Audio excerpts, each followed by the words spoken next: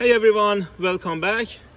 In this video, I'm gonna explain how to diagnose the yaw rate sensor on ESP system when there is a fault code on this sensor. Fault codes could be different car by car.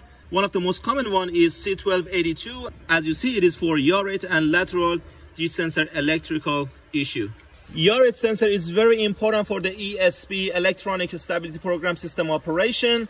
This sensor mostly is located under the center console, but on this car, it's under the seat on passenger side. This car is right-hand drive. That's why the passenger seat is on the left. And this is not only yaw rate sensor. On this car, yaw rate sensor and G sensor are integrated in one unit. So in this video, I'm gonna show you how to diagnose this yaw rate sensor with a scan tool for checking the sensor live data, for performing the calibration, after replacing the sensor. Then we're gonna have a look at the wiring diagram to identify these wires. It's really important to know that this sensor on this car and many others is connected to the network. So it's very important to know how to diagnose this sensor, which is working with the CAN bus network. So we're gonna diagnose this one with the multimeter. And at the end of the video, we're gonna have a look at the oscilloscope to see how we can diagnose the sensor with oscilloscope because as I said, it's connected to the network. Before I start in the video, if you guys haven't subscribed the channel yet, please don't forget to subscribe.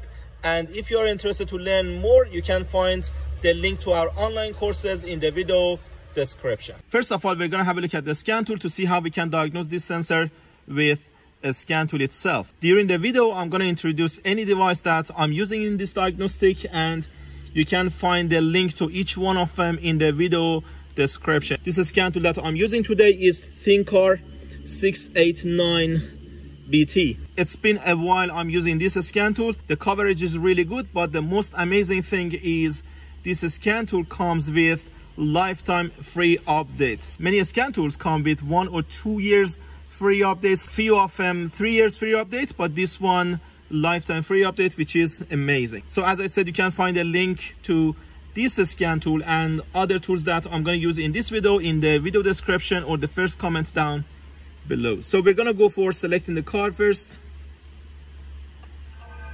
So let's see if a scan tool is capable of detecting the car automatically. Yes. So VIN number is detected. It's 16 pin. We go for auto search. So this is the one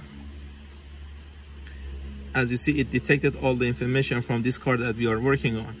So we have the health report system select the special function.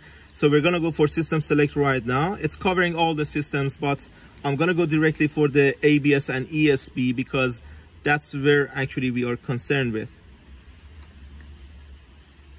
We are connected already to the braking system. We have the fault codes. So so as you see C1282 is the fault code for rate and lateral G sensor. We're gonna go back. Let's see what we can read from the live data. I'm gonna select all.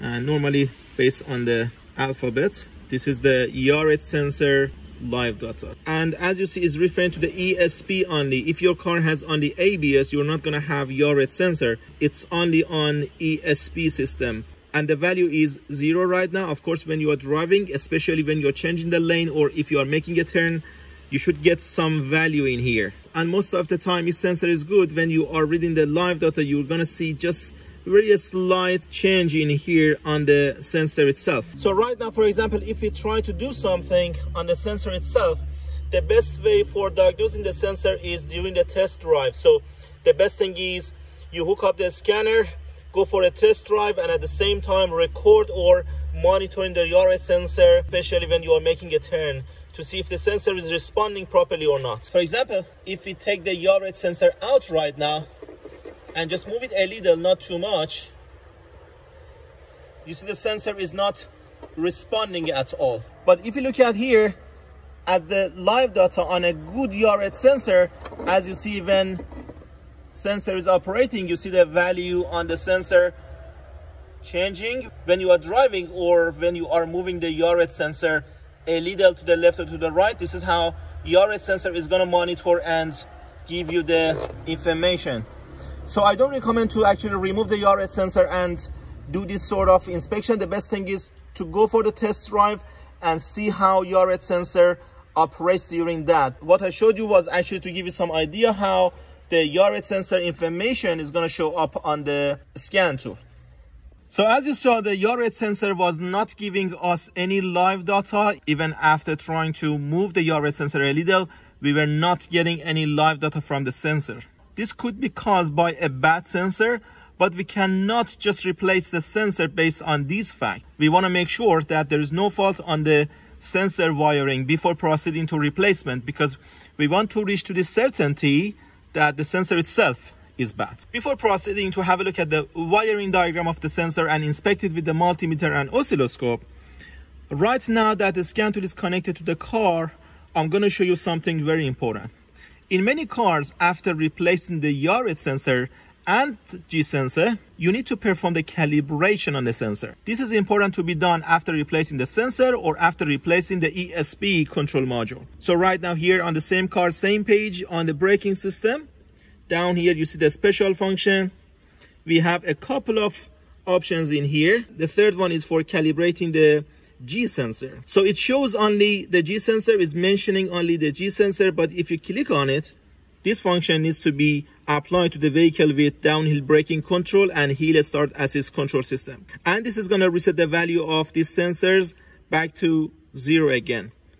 This function must be fulfilled when the rate sensor or ESC unit is replaced. So if we have replaced the ESP control module or yaw rate sensor, we need to perform the calibration. So this is the fault code that can happen. C1285 illuminating ESC warning lamp. So if you have this fault code or if you have replaced those components, you have to perform the calibration. And this is how you can perform the calibration. Let's click on OK.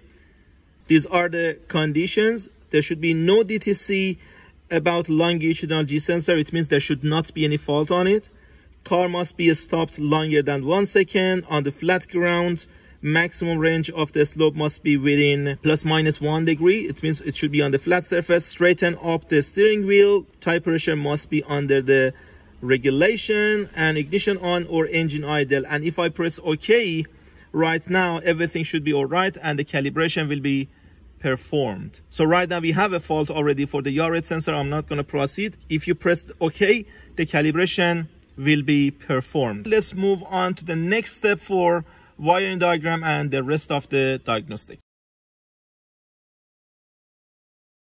So back in here, we are looking at the yaw rate sensor. As you see on the sensor itself, there is a direction for the sensor installation. You cannot actually connect the sensor in any other direction, but this is for your own reference to show you the direction so you cannot actually change the direction anyway. Let's disconnect the sensor connector first. So on the sensor connector, you see actually four wires. And at the same time, you can see the sensor wiring diagram on the screen too. On the sensor itself, if you look at here, on these two wires, which are pin number one and two, number one is a blue wire, number two is a red wire. These two are actually high-speed CAN bus. The red one is CAN high, the blue one is CAN low. They are connected to the network. So there is a high-speed CAN bus network between this sensor and ESP control module. So system is going to receive the information from the yaw rate sensor and G sensor very quickly because it's using a high-speed network. We're going to diagnose these two with oscilloscope in this video. And the other two wires that we have, pin number three is this pink wire which is the power supply. We're going to inspect this one with the multimeter. And pin number four, this black wire is the ground. These two power supply and ground, they are provided from ESP control module.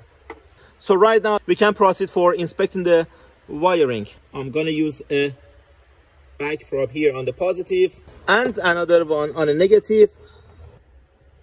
So let's read the voltage and see what we can get right now. So I'm gonna put the red probe on positive and black one on a negative. So right now we are getting 11.97 is the battery voltage.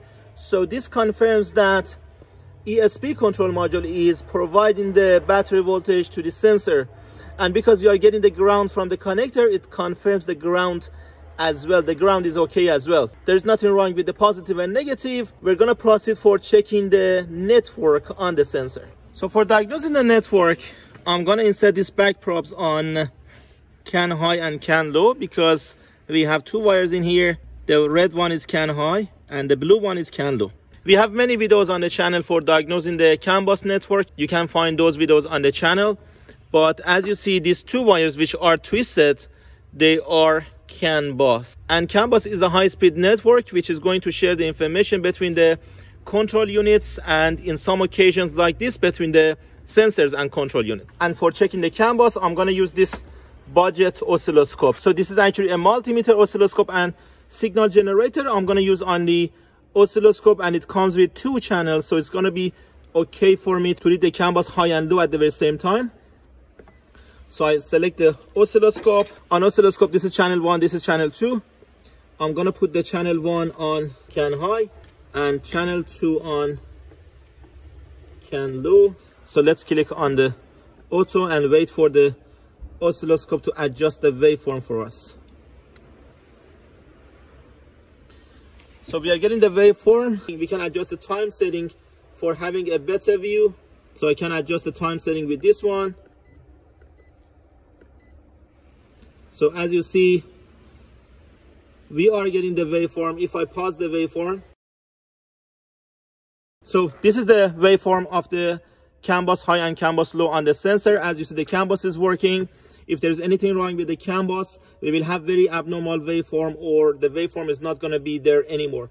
So we have the waveform on both of them. It means the network is working. Apparently, when we check, there is no live data from the sensor. Power and ground are provided. The network between the ESP control module and sensor is working as well because ESP control module is regulating that network.